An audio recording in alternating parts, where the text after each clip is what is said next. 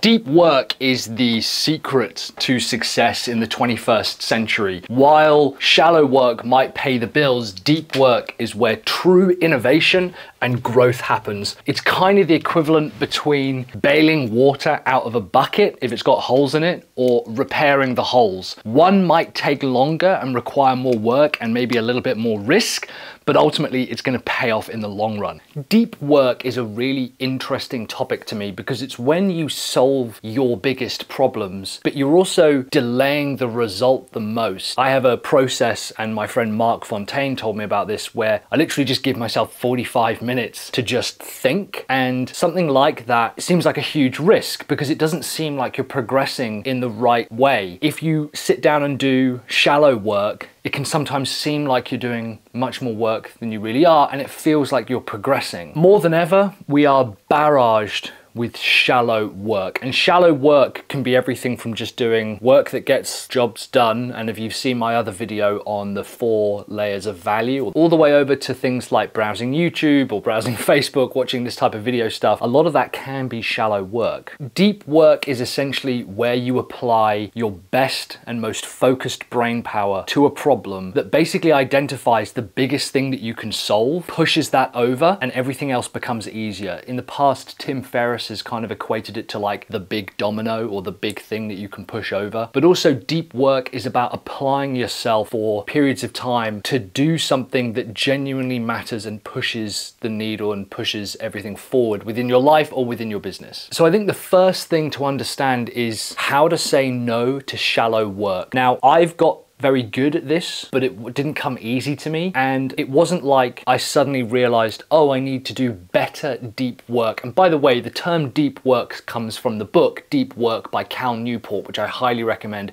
If you've read it, let me know in the comments below. Let me know what you think. But it's not just a case of saying, well, I know that I need to do this really important task, or I need to think about this problem in a really meaningful way, and then going and doing it. It actually first starts with you saying no and learning how to say no to shallow work. To me, the number one killer of productivity and making progress is meetings. My calendar has almost no meetings in it whatsoever. I'm sure you've seen this on LinkedIn where people send you requests and then they say, hey, let's get a virtual coffee and just get to know each other. Personally, that to me is an enormous waste of time. People like to talk about networking and growing your network. Let me tell you now, as someone who actively avoids having calls or conversations with anyone, and my calendar, first of all, it's almost impossible to get hold of my calendar. Secondly, I qualify you before you can even book a call. My call slots are 15 minutes at the most, unless I decide it needs to be longer. And I don't have a problem building my network. If anything, the problem is I need to start qualifying more of my network to work with the right people. The problem is that saying no to shallow work can seem lazy or rude, like responding to every single email. It's an enormous waste of time. There are systems and people that you can put in place as well as processes that allow you you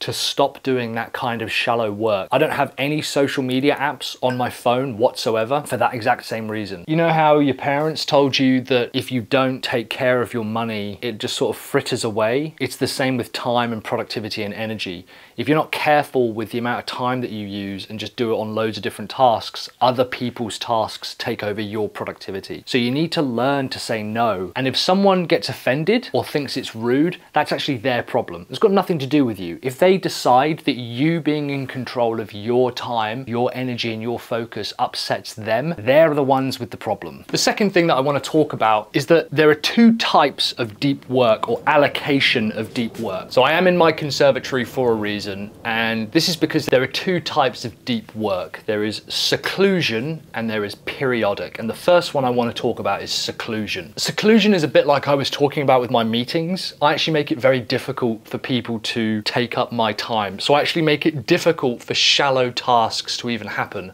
I don't have social media apps on my phone. That makes it difficult for me to do shallow work. I don't have any of my web browsers automatically logged into any websites, so I can't just randomly go there. I make it hard to do shallow work. I know that I should be working on deep work, which is why the process of seclusion means removing yourself from any chances of shallow work kind of creeping in. For example, when I need to work out, I come here to work out or I go to the gym. Now, it's a kind of a bad example because not everyone has the space to be able to just have a private work area. I'm lucky, I have a private office here, I've got an office down the road in Exeter, I've got this area here, I've got the gym, but finding and carving out those initial spaces or at least the processes of getting people to take your attention away is extremely important. And the second piece is periodic. Periodic basically means you have a set time that you are going to do deep work. It doesn't have to be loads. I think the mistake that a lot of people make is saying, well, I'm going to do five hours of deep work a day. One, that's just not sustainable. Like your energy just can't take it. But also, you're missing the point. You are better off finding one half hour slot three times a week to do deep focused work than trying to do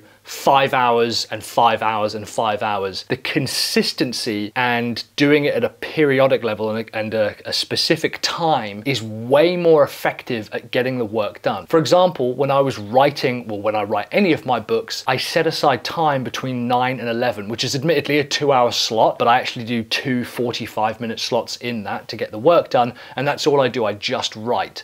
I don't turn my Wi Fi on, uh, I don't have any of my phones or anything available Olivia knows I'm not contactable during those periods. Now I actually don't do that a huge amount anymore because I'm not writing as much, but any times that I know that I need to do deep work, I have them set aside. For me, it's the morning. I have a 45 minute period in the morning where I sit down and I do the work that needs to be done. Now in my case, it is actually spending time thinking. I spend an enormous amount of time thinking, but that doesn't mean I have any distractions.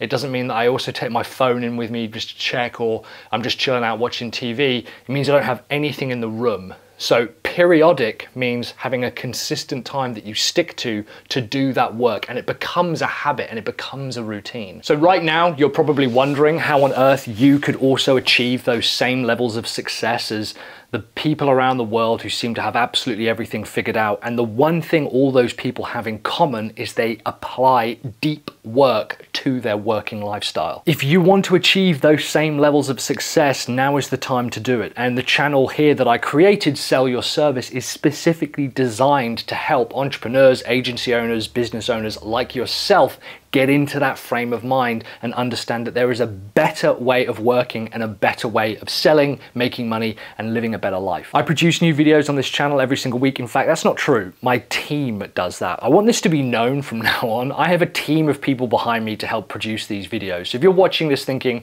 the editing, the timing, the amount of time it takes to go into it, there's a lot of work that goes into this. It's not just me. But if you'd still like to check out these kinds of videos, go ahead and click subscribe, uh, leave a comment down below and a like if this video was useful. And in the meantime, let's get back to the video. And so the last piece that I want to talk about is ad hoc. And ad hoc means as and when. So if we have secluded work and periodic work, the other area is ad hoc. I'm in kind of two minds about ad hoc, frankly, because first of all, if you ever feel out of sorts, or if you've ever thought, I've got so much going on, that I'm just, I'm weighed down, the difference that sitting alone in a quiet room can make for 20 minutes and just thinking is outstanding. It's a really good way to kind of let things sort yourselves out. What I tend to do for, if I'm struggling to either get into the deep work state of mind or if I feel there's a lot going on and I need to kind of process it I'll sit in a room, I'll take my phone in there, I'll open up the voice recorder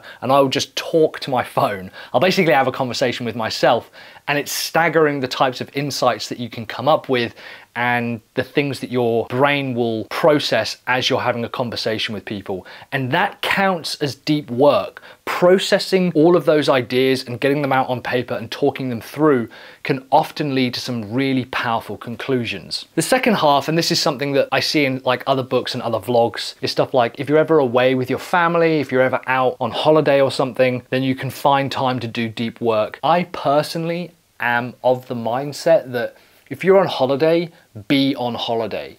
If you're at a speaking event, be at the speaking event.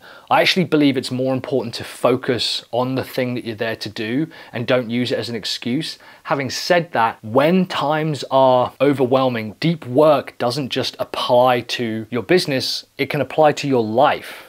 The ability to sit down and think through a problem and make sure, am I solving the biggest and most effective problem and how would I do that is vastly more important than just applying it to your business. We've got tons of travel coming up in the next sort of few months and it was really important for me to sit down and just give myself 45 minutes to plan it and work it all out. And now we're super happy with it. We've actually saved a ton of money. Uh, we're being paid to kind of go around the world and go to all these different events and stuff, which is amazing, uh, but it probably would have been a bit more stressful if I'd just left it. Right now, you probably think that deep work is impossible because of all the distractions in your life. And I'm here to tell you that if a customer came to you and said, I'm looking to spend 20 grand with you, I would just like 45 minutes to talk it through with you, I promise you, you'd find that 45 minutes. So I want you to think of this as a $20,000 customer. Would you be able to find even 45 minutes this week, once a week and regularly to be able to go through and just apply your knowledge to that deep work? My first piece of advice would be to